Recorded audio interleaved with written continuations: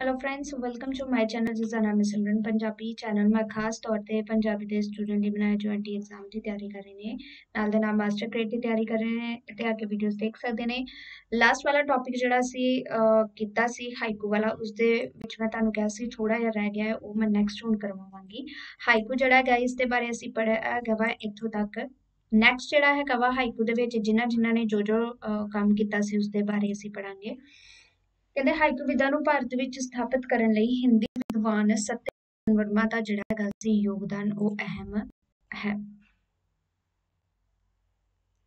ਤੇ ਇਸ ਮਕਸਦ ਦੀ ਪੂਰਤੀ ਹਿੱਤ ਉਹਨਾਂ ਨੇ 21 ਵਾਰ ਜਿਹੜੀ ਹੈਗੀ ਸੀ ਜਾਪਾਨ ਦੀ ਯਾਤਰਾ ਵੀ ਕੀਤੀ ਸੀ। ਤੇ ਇਸੇ ਕੜੀ ਨੂੰ ਅਗਾਹ ਤੋਰਨ ਦੇ ਵਿੱਚ ਹਿੰਦੀ ਵਿਦਵਾਨ ਭਗਵਤ ਸ਼ਰਨ ਜਿਹੜੇ ਅਗਰਵਾਲ, ਉਹਨਾਂ ਦੇ ਯੋਗਦਾਨ ਨੂੰ ਵੀ ਅਸੀਂ ਜਿਹੜੇ ਹੈਗੇ ਸੀ ਅੱਖੋਂ ਪਰੋਖੇ ਨਹੀਂ ਕੀਤਾ ਜਾ ਸਕਦਾ। ਇਹਨਾਂ ਨੇ ਭਾਰਤੀ ਹਾਈਕੂਕਾਰਾਂ ਦਾ ਵਿਸ਼ਵ ਕੋਸ਼ ਜਿਹੜਾ ਸੀ ਉਹ ਤਿਆਰ ਕੀਤਾ ਸੀ, ਜਿਸ ਦੇ ਵਿੱਚ ਸ਼੍ਰੀ ਮੁਕਤਸਰ ਸਾਹਿਬ ਦੇ ਅਨੇਕਾਂ ਹਾਈਕੂਕਾਰਾਂ ਦੇ ਹਵਾਲੇ ਵੀ ਦਰਜ ਨੇ। ਸ਼੍ਰੀ ਅਗਰਵਾਲ ਦੇ ਹਾਈਕੂ ਵੀ 25 ਦੇਸ਼ੀ ਵਿਦੇਸ਼ੀ ਭਾਸ਼ਾਵਾਂ ਦੇ ਵਿੱਚ ਕੀ ਕਹਿੰਦੇ, ਛਪ ਚੁੱਕੇ ਹਨ। ਹਾਈਕੂ ਵਿਧਾ ਨੂੰ ਭਾਰਤ ਵਿੱਚ ਸਥਾਪਿਤ ਕਰਨ ਲਈ ਉਹ ਹੀ ਆ ਗਿਆ। ਓਕੇ ਭਾਰਤ ਵਿੱਚ ਹਾਈਕੂ ਜਿਹੜਾ ਹੈਗਾ ਵਾ, ਲਿਖਣ ਦਾ ਕਾਰਜ ਉਹ 1921 ਦੇ ਵਿੱਚ ਆਸ-ਪਾਸ ਉਹਦੇ ਸ਼ੁਰੂ ਹੋਇਆ ਸੀ। ਇਸ ਤੋਂ ਬਾਅਦ ਸਦੀ ਦੇ ਅੰਤਿਮ ਦਹਾਕੇ ਵਿੱਚ ਪੰਜਾਬੀ ਭਾਸ਼ਾ ਵਿੱਚ ਵੀ ਹਾਈਕੂ ਦਾ ਆਗਾਜ਼ ਹੋਇਆ। ਹਿੰਦੀ ਦੇ ਪ੍ਰਭਾਵ ਅਧੀਨ ਜਸਵੰਤ ਸਿੰਘ ਵਿਦੀ, ਬਸੰਤ ਕੁਮਾਰ ਰਤਨ ਤੇ ਉਰਮਿਲਾ ਨੇ ਪੰਜਾਬੀ ਭਾਸ਼ਾ ਵਿੱਚ ਹਾਈਕੂ ਜਿਹੜੇ ਲਿਖੇ ਸੀ। ਸ਼੍ਰੀ ਮੁਕਤਸਰ ਸਾਹਿਬ ਦੀ ਧਰਤੀ ਤੋਂ 1997 ਤੋਂ 98 ਵਿੱਚ ਅਦਬੀ ਪਰਿਕਰਮਾ ਦੇ ਸੰਪਾਦਕ ਕਸ਼ਮੀਰੀ ਲਾਲ ਚਾਵਲਾ ਨੇ ਹਾਈਕੂ ਦੇ ਪ੍ਰਸਾਰ ਲਈ ਵੱਡਾ ਉਪਰਾਲਾ ਜਿਹੜਾ ਕੀਤਾ ਸੀ। ਉਹਨਾਂ ਨੇ ਜਿਹੜੇ ਗਏ ਸੀ, ਤਿੰਨ ਸਮਾਚਾਰ ਜਿਹੜੇ ਗਏ ਸੀ ਪੱਤਰ ਅਦਬੀ ਪਰਿਕਰਮਾ ਪੰਜਾਬੀ ਚ, ਅਦਬੀ ਮਾਲਾ ਹਿੰਦੀ ਚ ਤੇ ਵਰਲਡ ਟੂ ਵਰਡ ਅੰਗਰੇਜ਼ੀ ਰਾਹੀਂ ਤਿੰਨੇ ਭਾਸ਼ਾਵਾਂ ਵਿੱਚ ਪੰਜਾਬੀ ਤੇ ਭਾਰਤੀ ਹਾਈਕੂ ਦੇ ਵਿਸ਼ੇਸ਼ ਅੰਕ ਤੇ ਅਨੁਵਾਦ ਅੰਕ ਪ੍ਰਕਾਸ਼ਿਤ ਕੀਤੇ ਤੇ ਇਹ ਸਿਲਸਿਲਾ ਨਿਰੰਤਰ ਜਾਰੀ ਹੈ। ਇਸ ਸੰਬੰਧ ਵਿੱਚ ਦਿੱਲੀ ਵਿਖੇ ਆਯੋਜਿਤ ਜਿਹੜੇ ਹਾਈਕੂ ਸੰਬੰਧੀ ਵਿਸ਼ੇਸ਼ ਸੈਮੀਨਾਰ 'ਚ ਸ਼੍ਰੀ ਗੁਰੂ ਨਾਨਕ ਦੇਵ ਖਾਲਸਾ ਕਾਲਜ, ਦਿੱਲੀ ਯੂਨੀਵਰਸਿਟੀ ਦੇ ਪ੍ਰੋਫੈਸਰ ਡਾਕਟਰ ਪਰਮਜੀਤ ਕੌਰ ਨੇ ਦਿੱਲੀ ਨੇ 21ਵੀਂ ਸਦੀ ਦਾ ਪਹਿਲਾ ਦਹਾਕੂ ਪੰਜਾਬੀ ਹਾਈਕੂ ਕਾਵਿ ਦੀ ਦਸਤਕ। ਇਹ ਜਿਹੜਾ ਗਵਾ ਇੱਥੋਂ ਲੈ ਕੇ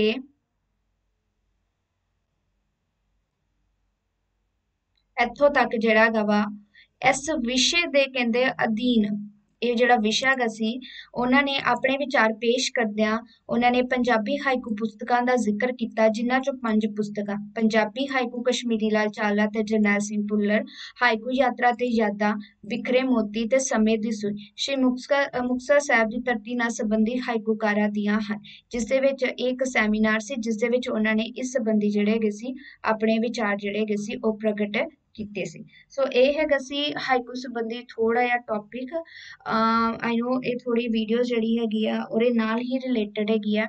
ਸੋ ਹਾਈਕੂ ਵੀ ਸਾਡੇ ਕੋਲ ਹੋ ਗਿਆ। ਨਿਊ ਜਿਹੜੇ ਸੀ ਕਾਵ ਰੂਪ, ਜਿਨ੍ਹਾਂ ਦੇ ਸੰਬੰਧੀ ਥੋੜੀ ਜਿਹੀ ਪ੍ਰੋਬਲਮ ਹੁੰਦੀ ਸੀ ਸਮਝਣ ਦੇ ਵਿੱਚ, ਉਹ ਚਾਰ ਪੰਜ ਮੈਂ ਟੌਪਿਕ ਕਰਵਾ ਦਿੱਤੇ ਨੇ। ਬਾਕੀ ਜਿਹੜੇ ਹੋਣਗੇ, ਉਹ ਅਸੀਂ ਜਦੋਂ ਦੂਸਰੇ ਵਾਰਤਕ ਰੂਪ ਕਰਾਂਗੇ, ਜਿਨ੍ਹਾਂ ਦੇ ਵਿੱਚ ਬਾਕੀ ਰਾਈਟਰਸ ਵਗੈਰਾ ਦੀਆਂ ਕਿਤਾਬਾਂ ਵੀ ਹੋਣਗੀਆਂ, ਉਹ ਡਿਟੇਲਸ ਦੇ ਵਿੱਚ ਕਰਾਂਗੇ। ਸਭ ਤੋਂ ਪਹਿਲਾਂ ਅਸੀਂ ਜਿਹੜਾ ਸਾਹਿਤ ਵਾਲਾ ਟੌਪਿਕ ਹੈਗਾ, ਉਹ ਅਸੀਂ ਇਸ ਦੇ ਵਿੱਚ ਖਤਮ ਕਰਨਾ ਹੈ। ਨੈਕਸਟ ਜਿਹੜਾ ਹੈਗਾ ਵਾ, ਇਸ ਦੇ ਵਿੱਚ ਰੋਮਾਂਸਵਾਦ ਬਾਰੇ ਵੀ ਮੈਂ ਤੁਹਾਨੂੰ ਪੜਾਉਣਾ ਸੀ, ਠੀਕ ਹੈ? ਸੋ ਰੋਮਾਂਸਵਾਦ ਬਾਰੇ ਵੀ ਅਸੀਂ ਥੋੜਾ ਜਿਹਾ ਪੜ੍ਹਦੇ ਹਾਂ ਅੱਜ। ਐਵੇਂ ਨਹੀਂ ਜਾਣਾ ਹੈਗਾ ਥੋੜਾ ਜਿਹਾ ਕਰਕੇ। ਸੋ ਸਭ ਤੋਂ ਪਹਿਲਾਂ ਇੱਥੋਂ ਸ਼ੁਰੂ ਹੁੰਦੇ ਨੇ। ਕਹਿੰਦੇ ਰੋਮਾਂਸਵਾਦੀ ਪ੍ਰਵਿਰਤੀ ਜਿਹੜੀ ਕੀ ਸੀ ਅਜੋਗੀ ਕ੍ਰਾਂਤੀ ਦੇ ਫਲਸਰੂਪ।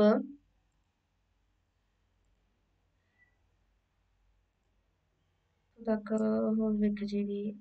ਇਹ ਤਾਂ ਵੱਡਾ ਹੀ ਛੋਟਾ ਹੋਏਗਾ। ਓਕੇ ਇੰਨਾ ਹੀ ਠੀਕ ਹੈਗਾ।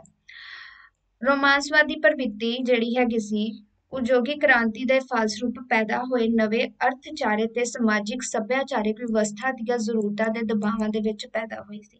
ਸ਼ਹਿਰਾਂ ਵਿੱਚ ਜਿਹੜੇ ਵੱਡੇ ਵੱਡੇ ਉਦਯੋਗ ਸਥਾਪਿਤ ਹੋਣ ਦੇ ਕਾਰਨ ਪਿੰਡਾਂ ਅਤੇ ਛੋਟੇ-ਛੋਟੇ ਨਗਰਾਂ ਵਿੱਚ ਰਹਿਣ ਵਾਲੇ ਚੰਗੇ ਰੁਜ਼ਗਾਰ ਦੀ ਤਲਾਸ਼ ਵਿੱਚ ਉਦਯੋਗੀ ਕੇਂਦਰਾਂ ਤੱਕ ਜਾ ਪਹੁੰਚੇ ਸੀ। ਇਸ ਅਦਲਾ ਬਦਲੀ ਦੇ ਨਾਲ ਕੀ ਹੋਇਆ? ਪਿੰਡੂ ਇਕਾਈਆਂ ਦੀ ਟੁੱਟ ਭੱਜ ਸ਼ੁਰੂ ਹੋ ਗਈ। ਹੁਣ ਤੂੰ ਤੁਹਾਨੂੰ ਵੀ ਹੁੰਦਾ ਕਿ ਜਿਹੜੇ ਸ਼ਹਿਰ ਜਾ ਕੇ ਜਿਨ੍ਹਾਂ ਨੇ ਕੰਮ ਕਰਨਾ ਹੁੰਦਾ, ਉਹਨਾਂ ਨੂੰ ਹੁੰਦਾ ਵਾ ਕਿ ਪਿੰਡਾਂ 'ਚ ਕੋਈ ਕੰਮ ਨਹੀਂ ਰਹਿ ਗਿਆ। ਕਈ ਇਸ ਤਰ੍ਹਾਂ ਕਰਦੇ ਤੇ ਸ਼ਹਿਰ ਜਾ ਕੇ ਆਪਣਾ ਕੰਮ ਜਿਹੜਾ ਖੋਲ ਲੈਂਦੇ ਨੇ ਜਾਂ ਫਿਰ ਕਈ ਦੁਕਾਨਦਾਰ ਸ਼ਹਿਰ ਦੇ ਵਿੱਚ ਜਾ ਕੇ ਕਰ ਲੈਂਦੇ ਕਿ ਉੱਥੇ ਗ੍ਰਾਹਕ ਜਿਹੜਾ ਹੈਗਾ ਵਾ ਉਹ ਜ਼ਿਆਦਾ ਸਾਨੂੰ ਮਿਲੇਗਾ ਪਿੰਡਾਂ ਦੇ ਨਾਲ। ਸੋ ਇਸ ਤਰੀਕੇ ਨਾਲ ਉਦੋਂ ਵੀ ਇਹ ਚੀਜ਼ਾਂ ਜਿਹੜੀਆਂ ਚੱਲਦੀਆਂ ਪਈਆਂ ਸੀ ਜਿਸ ਦੇ ਨਾਲ ਪੇਂਡੂ ਇਕਾਈਆਂ ਦੀ ਟੁੱਟ ਸ਼ੁਰੂ ਹੋ ਗਈ। ਸ਼ਹਿਰਾਂ 'ਚ ਜਾ ਕੇ ਪੇਂਡੂ ਲੋਕਾਂ ਨੇ ਆਪਣੇ ਪਰਿਵਾਰਾਂ ਦੀ ਜਿਹੜੀ ਯਾਦ ਸਤਾਉਣ ਲੱਗੀ, ਉਹ ਇਕੱਲੇ ਤੇ ਅਸਹਾय ਮਹਿਸੂਸ ਕਰਨ ਲੱਗ ਪਏ। ਪੂੰਜੀਪਤੀਆਂ ਨੇ ਪਿੰਡਾਂ 'ਚ ਆਏ ਯੁਵਕਾਂ ਨੂੰ ਮਜ਼ਦੂਰੀ ਦੇ ਕੰਮ ਉੱਪਰ ਰੱਖ ਲਿਆ, ਪਰੰਤੂ ਉਹਨਾਂ ਦੀ ਜਿਹੜੀ ਹੈਗੀ ਆ ਹੱਡਭੰਨਵੀਂ ਮਿਹਨਤ ਦਾ ਕੀ ਸ਼ੋਸ਼ਣ ਹੋਣ ਲੱਗੇ ਤੇ ਇਸ ਤਰ੍ਹਾਂ ਵੱਧ ਤੋਂ ਵੱਧ ਉਹਨਾਂ ਤੋਂ ਮਿਹਨਤ ਕਰਵਾਉਣ ਲਈ ਉਹਨਾਂ ਨੂੰ ਮਜਬੂਰ ਕੀਤਾ ਗਿਆ ਤੇ ਇਸ ਸੂਰਜ ਵਿੱਚ ਨੌਜਵਾਨਾਂ ਨੂੰ ਪਿੰਡਾਂ ਟੱਬਰਾਂ ਤੇ ਖੇਤੀਬਾੜੀ ਦੀ ਯਾਦ ਸਤਾਉਣ ਲੱਗੀ ਤੇ ਪ੍ਰਕਿਰਤੀ ਵੱਲ ਵਾਪਸ ਜਾਣ ਦੀ ਉਹ ਸੋਚਣ ਲੱਗ ਪਏ। ਇਸ ਤਰੀਕੇ ਨਾਲ ਇੱਥੇ ਉਹ ਆਉਂਦਾ ਕਿ ਪਰ ਪ੍ਰਕਿਰਤੀ ਵੱਲ ਕੀ ਉਹਨਾਂ ਦੀ ਸੋਚ ਹੈਗੀ ਆ, ਵਾਪਸੀ ਕਿਉਂ ਜਾਂਦੇ ਚਾਹੁੰਦੇ ਨੇ? ਕਿਉਂਕਿ ਉਹਨਾਂ ਨੂੰ ਉੱਥੋਂ ਦਾ ਜਿਵੇਂ ਉੱਥੋਂ ਦਾ ਲਾਈਫ ਸਟਾਈਲ ਸੀ, ਉਸ ਦੀ ਯਾਦ ਸਤਾਉਣ ਲੱਗ ਪਈ ਕਿਸ ਤਰੀਕੇ ਦਾ ਉਹ ਰਹਿੰਦੇ ਸੀ। ਜਦੋਂ ਪਿੱਛੇ ਮੁੜਨਾ ਸੰਭਵ ਨਾ ਹੋਇਆ ਤਾਂ ਇਹਨਾਂ ਮਜ਼ਦੂਰਾਂ ਨੇ ਕਲਪਨਾ ਵਿੱਚ ਹੀ ਜਿਉਣਾ ਸ਼ੁਰੂ ਕਰ ਦਿੱਤਾ। ਇਹੋ ਜੀਵਨ ਦੇ ਡਰਾਣੇ ਯਥਾਰਥ ਤੋਂ ਕੀ ਗਏ ਸੀ? ਘਬਰਾ ਗਏ ਸੀ। ਸੋ ਇਹ ਜਿਹੜੀ ਚੀਜ਼ ਹੈਗੀ ਸੀ, ਇਹ ਮੇਨ ਜਿਹੜਾ ਰੋਮਾਂਸਵਾਦ ਦੇ ਵਿੱਚ ਸਾਨੂੰ ਪੜਨਾ ਪੜਨ ਨੂੰ ਮਿਲਦਾ ਹੈਗਾ ਵਾ ਕਿ ਪ੍ਰਕਿਰਤੀ ਵੱਲ ਵਾਪਸੀ ਆਉਂਦੀ ਹੈਗੀ ਆ। ਜੀਵਨ ਦੇ ਡਰਾਣੇ ਯਥਾਰਥ ਤੋਂ ਘਬਰਾਣਾ ਇਹ ਜਿਹੜੀਆਂ ਚੀਜ਼ਾਂ ਹੈ, ਇਹ ਤਾਂ ਆਉਂਦੀਆਂ ਨੇ ਕਿਉਂਕਿ ਉਹਨਾਂ ਤੋਂ ਜਿਹੜੇ ਪੂੰਜੀਵਾਦੀ ਜਿਹੜੇ ਦੌਰ ਸੀ, ਉਸ ਦੇ ਨਤੀਜੇ ਵਜੋਂ ਇਹ ਚੀਜ਼ਾਂ ਹੋਣ ਚ ਆਈਆਂ। ਸੋ ਇਸ ਦੀ ਪ੍ਰਕਿਰਤੀ ਦੇ ਬਾਰੇ ਅਗਰ ਗੱਲ ਕਰੀਏ, ਕਹਿੰਦੇ ਇੱਕ ਅਜਿਹਾ ਸੰਕਲਪ ਹੈ ਜਿਸ ਦੀ ਪਰਿਭਾਸ਼ਾ ਤੇ ਲੱਛਣਾਂ ਬਾਰੇ ਵਿਦਵਾਨਾਂ ਵਿੱਚ ਸਹਿਮਤੀ ਨਹੀਂ ਸੀ। ਲੂਕਸ ਨੇ ਆਪਣੀ ਪੁਸਤਕ ਦਾ decline and the fall of romantic ideal ਵਿੱਚ ਇਸ ਸੰਕਲਪ ਦੀਆਂ ਅਨੇਕ ਪਰਿਭਾਸ਼ਾਵਾਂ ਗਿਣਾਈਆਂ ਸੀ। ਉਹਨਾਂ ਨੇ ਇਹਨਾਂ ਸਾਰੀਆਂ ਪਰਿਭਾਸ਼ਾ ਨੂੰ ਤਿੰਨ ਸ਼੍ਰੇਣੀ ਦੇ ਵਿੱਚ ਵਰਗੀਕ੍ਰਿਤ ਕੀਤਾ ਸੀ। ਪਹਿਲੀ ਸ਼੍ਰੇਣੀ ਦੇ ਆਲੋਚਕ ਉਹ ਨੇ ਜਿਹੜੇ ਮੁੱਢਲੇ ਰੋਮਾਂਸਵਾਦ ਤੇ ਇਸ ਦੇ ਪਿਛਲੇ ਵਿਕਾਸ ਵਿੱਚ ਕੁਝ ਅੰਤਰ ਮੰਨਦੇ ਨੇ। ਦੂਜੀ ਸ਼੍ਰੇਣੀ ਦੇ ਆਲੋਚਕਾਂ ਨੇ 18ਵੀਂ ਸਦੀ ਦੇ ਯੂਰਪੀ ਅਨੁਭਵ ਨੂੰ ਰੋਮਾਂਸਵਾਦ ਦਾ ਨਾਂ ਦਿੱਤਾ ਤੇ ਤੀਜੀ ਸ਼੍ਰੇਣੀ ਹੈਗੀ ਸੀ ਕਮਾਜ਼ੀਆ ਅਤੇ ਹਰਬਰਟ ਰੀਡ ਵਰਗੇ ਵਿਦਵਾਨਾਂ ਦੀ। ਇਹ ਲੋਕ ਪੱਛਮੀ ਸਾਹਿਤ ਦੇ ਦੋ ਸਿਰੇ ਦਾ ਜਾਤ ਰੂਪ ਜਿਹੜੇ ਮੰਨਦੇ ਸੀ। ਇੱਕ ਸਿਰ ਕਲਾਸਿਕੀਵਾਦ ਹੈ, ਦੂਜਾ ਹੈਗਾ ਸੀ ਰੋਮਾਂਸਵਾਦ। ਸਾਹਿਤ ਸਿਰਜਣਾ ਪੈਂਡਲੂਮ ਇਹਨਾਂ ਦੋਹਾਂ ਸਿਰਮਿਆਂ ਦੇ ਦਰਮਿਆਨ ਜਿਹੜਾ ਹੈਗਾ ਸੀ ਲਟਕਦਾ ਤੇ ਖਿਸਕਦਾ ਰਹਿੰਦਾ ਹੈ। ਕਦੇ ਕਲਾਸਿਕੀਵਾਦ ਵੱਲ ਤੇ ਕਦੇ ਰੋਮਾਂਸਵਾਦ ਵੱਲ ਸੋ ਇਹਨਾਂ ਨੇ ਤਿੰਨ ਸ਼੍ਰੇਣੀਆਂ ਦੇ ਵਿੱਚ ਇਹਨੂੰ ਵੰਡਿਆ ਹੈਗਾ ਸੀ। ਪਹਿਲੀ ਸ਼੍ਰੇਣੀ ਹੈਗੀ ਸੀ ਜੋ ਕਿ ਮੁੱਢਲੇ ਰੋਮਾਂਸਵਾਦ ਤੇ ਇਸ ਦੇ ਪਿਛਲੇ ਵਿਕਾਸ 'ਚ ਕੁਝ ਅੰਤਰ ਮੰਨਦੇ ਸੀ। ਦੂਜੀ ਹੈਗੀ ਸੀ ਆਲੋਚਕਾਂ ਨੇ 18ਵੀਂ ਸਦੀ ਦੇ ਯੂਰਪੀ ਅਨੁਭਵ ਨੂੰ ਰੋਮਾਂਸਵਾਦ ਮੰਨਿਆ ਸੀ। ਥਰਡ ਜਿਹੜੇ ਹੈਗੇ ਸੀ, ਇਹ ਹਰਬਰਟ ਰੀਡ ਵਰਗੇ ਤੇ ਕਮਾਜ਼ੀਆਂ ਵਾਲੇ ਜਿਹੜੇ ਸ਼੍ਰੇਣੀ ਸੀ, ਇਹਨਾਂ ਨੇ ਇਸ ਨੂੰ ਦੋ ਧਰੁਵ ਮੰਨੇ ਸੀ ਇਸ ਦੇ ਜਿਸ ਦੇ ਵਿੱਚ ਕੀ ਗਾ ਸੀ ਪੈਂਡੂਲਮ ਵਾਂਗ ਕਦੀ ਇਹ ਕਲਾਸਿਕੀ ਵੱਲ ਵੱਲ, ਕਦੀ ਇਹ ਰੋਮਾਂਸਵਾਦ ਵੱਲ ਜਾਂਦਾ ਸੀ। ਯੂਰਪੀ ਰੋਮਾਂਸ ਵਿੱਚ ਏਕਤਾ ਦੇ ਸਵਾਲ ਤੇ ਵੀ ਅਨੇਕਾਂ ਆਲੋਚਕਾਂ 'ਚ ਮਤਭੇਦ ਨੇ।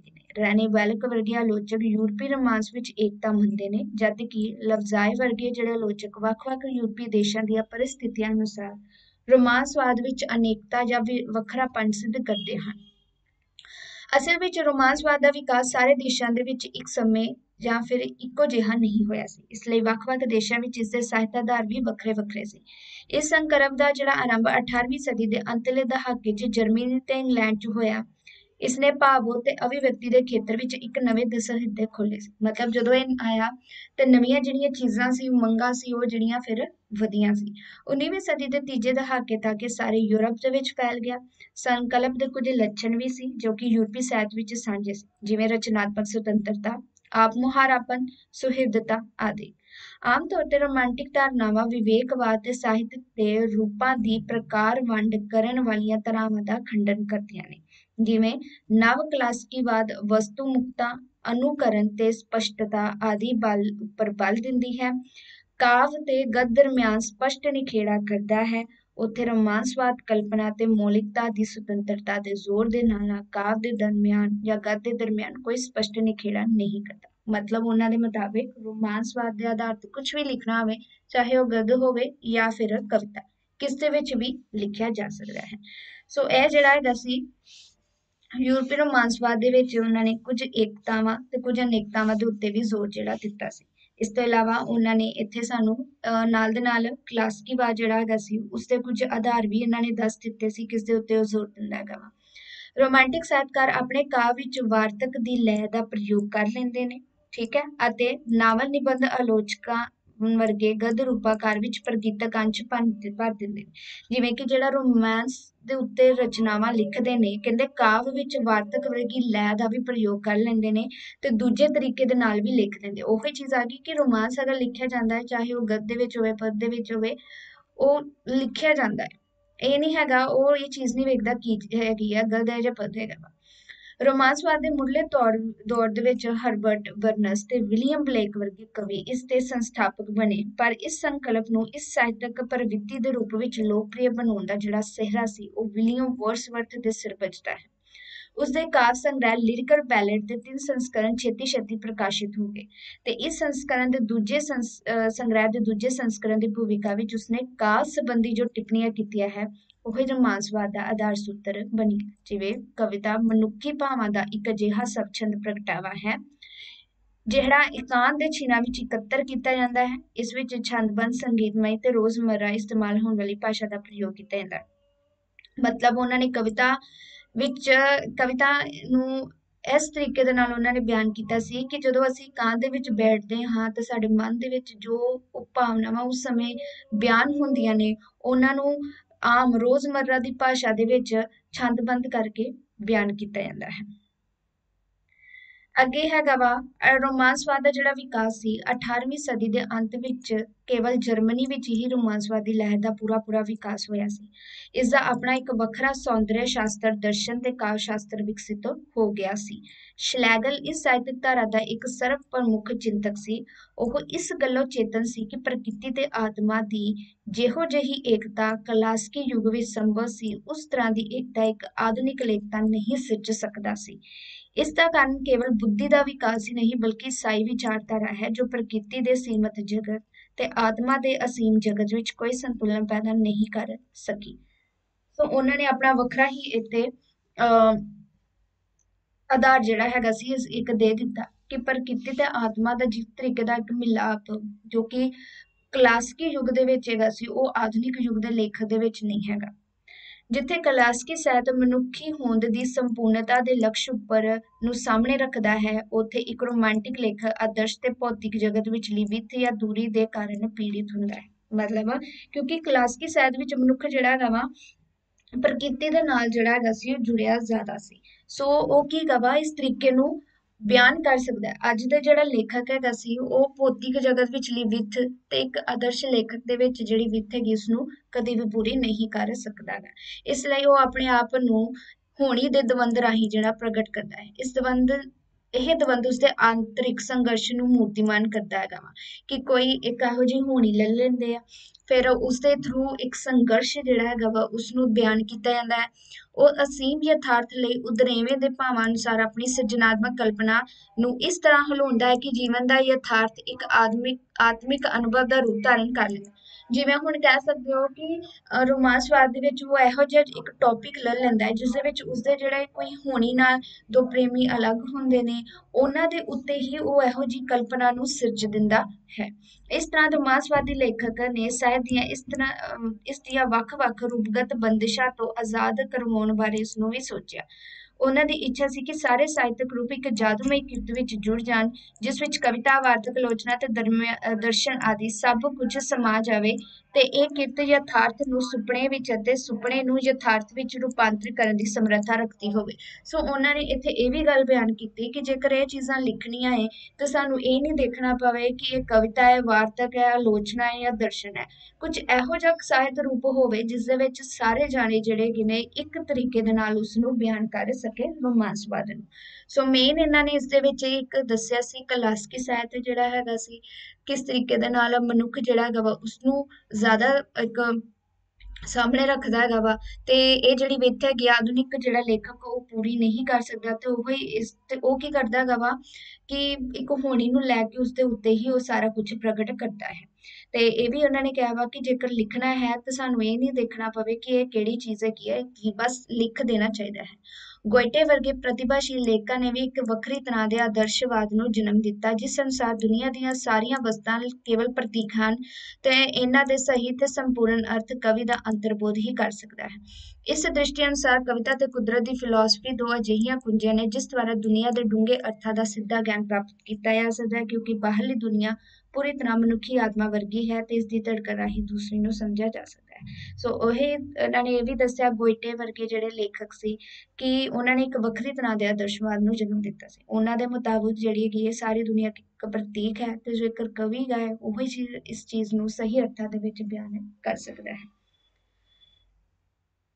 ਸੋ ਬਾਅਦ ਵਿੱਚ ਇਹ ਸੰਕਲਪ ਫਰਾਂਸ ਦੇ ਰੋਮਾਂਟਿਕ ਕਵੀਆਂ ਵਿੱਚ ਬਹੁਤ ਲੋਕਪ੍ਰਿय ਹੋਇਆ ਇਸ ਨੇ ਬਦਲੇਅਰ ਰਿੰਬੋ ਮਲਾਰਮੀ ਤੇ ਪੋ ਵਰਗੇ ਕਵੀਆਂ ਨੂੰ ਵਿਸ਼ੇਸ਼ ਪ੍ਰਭਾਵਿਤ ਕੀਤਾ ਰੋਮਾਂਸਵਾਦ ਦੇ ਦੂਜੇ ਦੌਰ ਵਿੱਚ ਵਰਡਸਵਰਥ ਤੇ ਕਾਰਲਿਜ ਆਦਿ ਇੰਗਲੈਂਡ ਦੇ ਕਵੀ ਵੀ ਸਾਹਮਣੇ ਆਏ ਬੇਸ਼ੱਕ ਪਹਿਲੇ ਪਹਿਲੇ ਵਰਡਸਵਰਥ ਵਰਗੇ ਕਵੀਆਂ ਨੇ ਆਪਣੇ ਆਪ ਨੂੰ ਰੋਮਾਂਟਿਕ ਕਵੀ ਅਖਵਾਉਣੋਂ ਇਨਕਾਰ ਕਰ ਦਿੱਤਾ ਸੀ ਪਰ ਉਹਨਾਂ ਨੇ ਕਾਵ ਲੋਕ ਵਿੱਚ ਇਸ ਪ੍ਰਵਿਰਤੀ ਦੇ ਗੁਣ ਲੱਛਣ ਸਪਸ਼ਟ ਤੇ ਉੱਭਰਨ ਵਿੱਚ ਲੱਗ ਪਏ ਸੀ ਵਰਡਸਵਰਥ ਨੇ ਕਾਰਲਿਜ ਨਾਲ ਮਿਲ ਕੇ ਸਿਰਜਣਾਤਮਕ ਕਲਪਨਾ ਦੀ ਵਕਾਲਤ ਕੀਤੀ ਇਹ ਕੁਐਸਚਨ ਇਸ ਤਰੀਕੇ ਦੇ ਨਾਲ ਆ ਸਕਦਾ ਹੈ।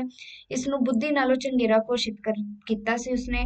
ਇੰਗਲੈਂਡ ਵਿੱਚ ਇੱਕ ਹੋਰ ਕਵੀ ਜਿਹੜੇ ਹੈਗੇ ਸੀ ਬਾਇਰਨ, ਉਹਨਾਂ ਨੇ ਲੰਮੀਆਂ ਕਵਿਤਾਵਾਂ ਦੇ ਮਾਧਿਅਮ ਦੁਆਰਾ ਕਵੀ ਨੂੰ ਸਵੈ ਜੀਵਨੀ ਪਰ ਕਵਿਤਾ ਬਣਾ ਦਿੱਤਾ, ਜਿਸ ਵਿੱਚ ਇੱਕ ਦੁਖੀ ਤੇ ਪੀੜਤ ਨਾਇਕ ਆਪਣੇ ਅਪਰਾਧ ਬੋਧ ਦੇ ਕਾਰਨ ਵਿਆਕੁਲ ਦਿਖਾਈ ਦਿੰਦਾ ਹੈ। ਸ਼ੈਲੇ ਨੇ ਪ੍ਰੇਮ ਤੇ ਸੁੰਦਰਤਾ ਦੇ ਨਾਲ ਸੁੰਦਰਤਾ ਦੇ ਸੰਕਲਪ ਨੂੰ ਮਿਲਾ ਕੇ ਪੇਸ਼ ਕੀਤਾ ਸੀ। ਡਿਫੈਂਸ ਆਫ ਪੋਇਟਰੀ ਵਿੱਚ ਸ਼ੈਲੇ ਨੇ ਕਵਿਤਾ ਨੂੰ ਇੱਕ ਅਜਿਹੀ ਭਵਿੱਖਬਾਣੀ ਦੇ ਰੂਪ ਵਿੱਚ ਪੇਸ਼ ਕੀਤਾ, ਜੋ ਪਰਮ ਯਥਾਰਥ ਦਾ ਗਿਆਨ ਪ੍ਰਦਾਨ ਕਰਦਾ। ਮੋਸਟ ਇੰਪੋਰਟੈਂਟ ਪੈਰਾ ਇਸ ਦੇ ਵਿੱਚ ਹਰ ਇੱਕ ਕਵੀ ਦੇ ਬਾਰੇ ਦੱਸਿਆ, ਉਹਨਾਂ ਨੇ ਕਿਸ ਤਰੀਕੇ ਦੇ ਨਾਲ ਰੋਮਾਂਸਵਾਦ ਨੂੰ ਬਿਆਨ ਕੀਤਾ ਸੀ ਤੇ ਕਿਸ ਦੇ ਥਰੂ ਕੀਤਾ ਸੀ।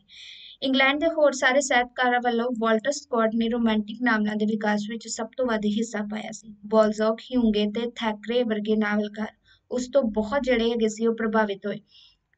ਰੋਜ਼ੈਟੀ ਨੇ ਪ੍ਰੇਮ ਤੇ ਮੌਤ ਦੇ ਭਾਵਾਂ ਦੀ ਪੇਸ਼ਕਾਰੀ ਵਾਸਤੇ ਇੱਕ ਰੋਮਾਂਸਵਾਦੀ ਦਰਸ਼ਨ ਦਾ ਵੀ ਨਿਰਮਾਣ ਕੀਤਾ। ਉਸ ਨੂੰ ਕਲਾ ਕਲਾ ਲਈ ਲਹਿਰ ਦਾ ਸੰਚਾਲਕ ਮੰਨਿਆ ਗਿਆ। ਇਹ ਸਿਧਾਂਤ ਸਵਿਨਬਰਨ ਦੀਆਂ ਕਵਿਤਾਵਾਂ ਵਿੱਚ ਹੋਰ ਵੀ ਚੰਗੇਰੀ ਤਰੀਕੇ ਦੇ ਨਾਲ ਪੇਸ਼ ਹੋਇਆ। ਰੋਮਾਂਸਵਾਦ ਦੇ ਜਿਹੜੇ ਨੈਕਸਟ ਜਿਹੜੇ ਲੱਛਣ ਹੈਗੇ ਨੇ ਉਹ ਦੇਖੋ, ਰੋਮਾਂਟਿਕ ਲੇਖਕਾਂ ਨੇ ਸਾਹਿਤ ਸਮਗਰੀ, ਸਾਹਿਤ ਰੂਪਾ ਤੇ ਸਾਹਿਤ ਸ਼ੈਲੀ ਵਿੱਚ ਪਰੰਪਰਾਵਾਦ ਦੀ ਬਜਾਏ ਪਰਚੋਲਵੀ ਸ਼ੈਲੀ ਅਪਣਾਈ ਸੀ। ਸੋ ਰੋਮਾਂਸਵਾਦ ਜਿਹੜੇ ਲੇਖਕ ਹੈਗੇ ਸੀ, ਉਹਨਾਂ ਨੇ ਪਰਚੋਲਵੀ ਸ਼ੈਲੀ ਦੀ ਵਰਤੋਂ ਕੀਤੀ ਸੀ।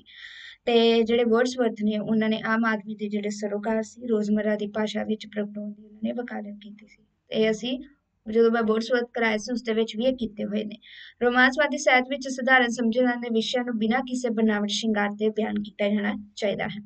ਰੋਮਾਂਟਿਕ ਲੇਖਕਾਂ ਨੇ ਆਪ ਮੁਹਾਰੇ ਜਜ਼ਬਿਆਂ ਦੇ ਖੁੱਲੇ ਪ੍ਰਗਟਾਵੇ ਦੇ ਉੱਤੇ ਜ਼ੋਰ ਦਿੱਤਾ ਸੀ। ਉਹਨਾਂ ਦੇ ਮੁਤਾਬਕ ਇਹ ਗਾ ਸੀ ਕਿ ਕੁਝ ਕਰਮਸ਼ੀਲ ਵਿਅਕਤੀ ਦੇ ਜੀਵਨ ਦਾ ਇਹ ਦਰਪਣ ਨਹੀਂ ਹੁੰਦਾ, ਬਲਕਿ ਇਹ ਕਵੀਆਂ ਦੇ ਭਾਵਾਂ ਦਾ ਦਰਪਣ ਹੁੰਦਾ ਹੈ, ਸਾਹਿਤ। ਹਰ ਇੱਕ ਦੇ, ਠੀਕ ਹੈ? ਉਹਨਾਂ ਨੇ ਕਿਹਾ, ਜਿਹੜੇ ਕਵੀ ਹੁੰਦੇ ਨੇ, ਉਹਨਾਂ ਦੇ ਭਾਵਾਂ ਦੇ ਥਰੂ ਇਹ ਸਾਹਮਣੇ ਆਉਂਦਾ ਹੈ। ਕਵਿਤਾ ਦੀ ਸੋਹਜ ਸੁਭਾਵਿਕਤਾ ਉੱਤੇ ਉਹਨਾਂ ਨੇ ਜ਼ੋਰ ਦਿੱਤਾ ਹੈ ਕਿ ਆਪੇ ਜਿਹੜੀ ਬਾਹਰੇ ਆਵੇ। ਕੀਰਸ ਨੇ ਇੱਥੋਂ ਤੱਕ ਕਹਿ ਦਿੱਤਾ ਜੇ ਕਵਿਤਾ ਇਉਂ ਕੁਦਰਤੀ ਨਹੀਂ ਆਉਂਦੀ ਤਾਂ ਜਿਵੇਂ ਇੱਕ ਰੁੱਖੇ, ਰੁੱਖ ਨੂੰ ਪੱਤੇ ਤਾਂ ਲੱਗਦੇ ਨੇ ਤਾਂ ਬੇਸ਼ੱਕ ਇਹ ਨਾ ਆਵੇ। ਰੋਮਾਂਟਿਕ ਸਾਹਿਤ ਵਿੱਚ ਕੁਝ ਦ੍ਰਿਸ਼ ਚਿੱਤਰਾਂ ਉੱਤੇ ਵੀ ਵਿਸ਼ੇਸ਼ ਜ਼ੋਰ ਦਿੱਤਾ ਗਿਆ ਹੈ। ਨਵ ਕਲਾਸਿਕੀ ਸਾਹਿਤ, ਯਾਨੀ ਕਿ ਦੂਜੇ ਲੋਕਾਂ ਦੇ ਬਾਰੇ ਵਿੱਚ ਵੀ ਲਿਖਿਆ ਜਾਂਦਾ ਹੈ, ਪਰੰਤੂ ਰੋਮਾਂਟਿਕ ਸਾਹਿਤ ਵਿੱਚ ਕਵੀ ਕੇਵਲ ਨਿੱਜੀ ਸ਼ਖਸੀਅਤ ਜਿਹੜੀ ਹੈ ਉਸ ਨੂੰ ਹੀ ਸਾਹਮਣੇ ਰੱਖਦਾ ਹੈ। ਭਾਵੇਂ ਰੋਮਾਂਟਿਕ ਸਾਹਿਤ ਦਾ ਨਾਇਕ, ਕਵੀ ਆਪ ਵੀ, ਆਪ ਨਾ ਵੀ ਹੋਵੇ ਤਾਂ ਵੀ। ਉਹ ਕੀ ਕਰਦਾ ਹੈਗਾ ਵਾ ਕਿ ਉਸ ਦਾ ਨਾਇਕ ਸਾਡੇ ਸੰਤੁਲਿਤ ਸਮਾਜ ਦਾ ਕੋਈ ਅੰਗ ਨਹੀਂ ਹੁੰਦਾ, ਬਲਕਿ ਇੱਕ ਅਜਿਹਾ ਇਕੱਲਾ ਵਿਅਕਤੀ ਹੁੰਦਾ ਜੋ ਕਿਸੇ ਅਸੰਭਵ ਆਦਰਸ਼ ਦੀ ਤਲਾਸ਼ ਵਿੱਚ ਭਟਕ ਰਿਹਾ ਹੁੰਦਾ ਹੈ। ਮਤਲਬ ਇਸ ਵਿੱਚ ਕੀ ਗੱਲ ਸੀ ਕਿ ਆਪਣੀ ਨਿੱਜੀ ਸ਼ਖਸੀਅਤ ਨੂੰ ਅਭਿਵਿਅਕਤ ਕਰਦਾ ਹੈ ਜਿਵੇਂ ਆਪਣੇ ਥਰੂ ਦੱਸਦਾ, ਆਪ ਨਾ ਹੋਵੇ ਥਰੂ ਦੱਸਦਾ ਹੈ। ਰੋਮਾਂਸਵਾਦੀ ਲੇਖਕ ਅਨੰਤ ਤੇ ਸੀਮ ਦੇ ਪ੍ਰਤੀ ਆਪਣੀਆਂ ਇੱਛਾਵਾਂ ਪ੍ਰਗਟ ਕਰਦੇ ਨੇ। ਤੇ ਰੋਮਾਂਸਵਾਦੀ ਸਾਹਿਤਕਾਰਾਂ ਨੇ ਆਪਣੀ ਸੀਮਾਵਾਂ ਤੋਂ ਅੱਗੇ ਲੰਘ ਜਾਣ ਦੀ ਇੱਛਾ ਦਾ ਇਜ਼ਹਾਰ ਬੜੇ ਜ਼ੋਰਦਾਰ ਢੰਗ ਨਾਲ ਕੀਤਾ ਹੈ। ਯਾਨੀ ਕਿ ਉਹਨਾਂ ਨੇ ਉਚੇਰੀ ਕਲਾ ਸੰਭਵ ਤੋਂ ਪਾਰ ਜਾਣ ਦੀ ਕੋਸ਼ਿਸ਼ ਕੀਤੀ ਹੈ। ਨਵ ਕਲਾਸਕੀ ਇੱਕ ਸੀਮਤ ਜਗਤ ਨੂੰ ਸੰਪੂਰਨ ਅਭਿਵਿਅਕਤੀ ਦੇਣ ਦੀ ਕੋਸ਼ਿਸ਼ ਕਰਦਾ ਹੈ। ਕਿਉਂਕਿ ਉਸ ਦੇ ਵਿੱਚ ਥੋੜੀ ਜਿਹੀ ਸਾਡੇ ਕੋਲ ਲਿਮਿਟਸ ਹੁੰਦੀਆਂ ਨੇ ਨਵ ਕਲਾਸਕੀ ਬਾਅਦ ਵਿੱਚ, ਇੱਕ ਲਾਈਨਸ ਹੁੰਦੀਆਂ ਨੇ। ਪਰ ਇਸ ਦੇ ਵਿੱਚ ਉਹਨਾਂ ਨੇ ਬਹੁਤ ਅਸੀਮ ਜਾਣ ਦੇ ਬਾਰੇ ਗੱਲ ਕੀਤੀ ਗਈ ਹੈ। ਰੋਮਾਂਸਵਾਦ ਦੇ ਵਿੱਚ। ਪੂੰਜੀਵਾਦੀ ਨਿਜ਼ਾਮ ਦੇ ਅਮਾਨਵੀ ਚਰਿੱਤਰ ਵੀ ਪ੍ਰੋਟੈਸਟ ਕਰਨ ਵਾਲੀ ਪਹਿਲੀ ਸਾਹਿਤਕ ਲਹਿਰ ਜਿਹੜੀ ਸੀ ਇਹ ਸੀ। ਇੰਗਲੈਂਡ ਤੇ ਹੋਰ ਯੂਰਪੀ ਦੇਸ਼ਾਂ ਵਿੱਚ ਉਦਯੋਗਿਕ ਕ੍ਰਾਂਤੀ ਦੇ ਆਗਮਨ ਤੋਂ ਬਾਅਦ ਵੱਡੇ ਵੱਡੇ ਉਦਯੋਗਿਕ ਕੇਂਦਰ ਸਥਾਪਿਤ ਹੋ ਗਏ। ਫਿਰ ਉਹੀ ਹੀ ਚੀਜ਼ ਆਈਂਦੀ ਹੈ ਕਿ ਬਾਹਰ ਜਿਹੜੇ ਉਹ ਗਏ ਸੀ, ਫਿਰ ਉਹਨਾਂ ਨੂੰ ਯਾਦ ਸਤਾਉਣ ਲੱਗੀ। ਇਸ ਤਰ੍ਹਾਂ, ਇਸ ਯਾਦ ਵਿੱਚ ਉਹ ਪ੍ਰਕਿਰਤੀ ਵੱਲ ਵਾਪਸੀ ਦਾ ਜਿਹੜਾ ਹੈਗਾ ਸੀ, ਖਿਆਲ ਵੀ ਪੈਦਾ ਹੋਇਆ। ਸ਼ਹਿਰ ਦੇ ਕਾਰਖਾਨਿਆਂ ਵਿੱਚੋਂ ਇੱਕ ਜਿਹੀ ਵਰਦੀ ਪਾ ਕੇ ਕੰਮ ਕਰਦਿਆਂ ਤੇ ਅਸਲ ਥਾਵਾਂ, ਨਾਵਾਂ ਦੀ ਥਾਂ ਕਿੱਤੇ ਦੇ ਨਾਮ ਨਾ ਬੁਲਾਉਂਦਿਆਂ, ਜਿਵੇਂ ਫਿਟਰ, ਮਕੈਨਿਕ, ਪਲੰਬਰ ਉਹਨਾਂ ਨੂੰ ਬੁਲਾਇਆ ਜਾਂਦਾ ਸੀ। ਇਹ ਸੁਣ ਕੇ ਉਹਨਾਂ ਨੂੰ ਆਪਣੀ ਪਛਾਣ ਜਿਹੜੀ ਤੇ ਸ਼ਨਾਖਤ ਗਵਾਚਦੀ ਹੋਈ ਉਹਨਾਂ ਨੂੰ ਮਹਿਸੂਸ ਹੋਈ। ਸੋ ਇਹੋ ਹੀ ਚੀਜ਼ ਹੈਗੀ ਸੀ, ਉਹਨਾਂ ਨੂੰ ਆਪਣੀ ਜਿਹੜੀ ਜਿੱਥੇ ਉਹ ਰਹਿੰਦੇ ਸੀ, ਪ੍ਰਕਿਰਤੀ ਉਹਨਾਂ ਵੱਲ ਫਿਰ ਉਹਨਾਂ ਨੂੰ ਯਾਦ ਆਉਣ ਲੱਗੀ ਤਾਂ ਉਹਨਾਂ ਵੱਲੋਂ ਜਾਣਾ ਚਾਹੁੰਦੇ ਸੀ। ਸੋ ਇਹ ਇੰਨਾ ਹੀ ਟੌਪਿਕ ਕਰਵਾਵਾਂਗੀ, ਇਹ ਵਾਲਾ ਜਿਹੜਾ ਕੱਲ ਕਰਾਂਗੇ। ਸੋ ਅੱਜ ਅਸੀਂ ਹਾਈਕੂ ਕੀਤਾ ਸੀ ਤੇ ਨਾਲ ਦੇ ਨਾਲ ਇਹਦੇ ਵਿੱਚ ਅਸੀਂ ਰੋਮਾਂਸ ਬਾਦ ਵੀ ਕੀਤਾ। ਬਾਕੀ ਜਿਹੜਾ ਟੌਪਿਕ ਕੱਲ ਸੋ ਵੀਡੀਓਸ ਦੇਖਦੇ ਰਹੋ। Thank you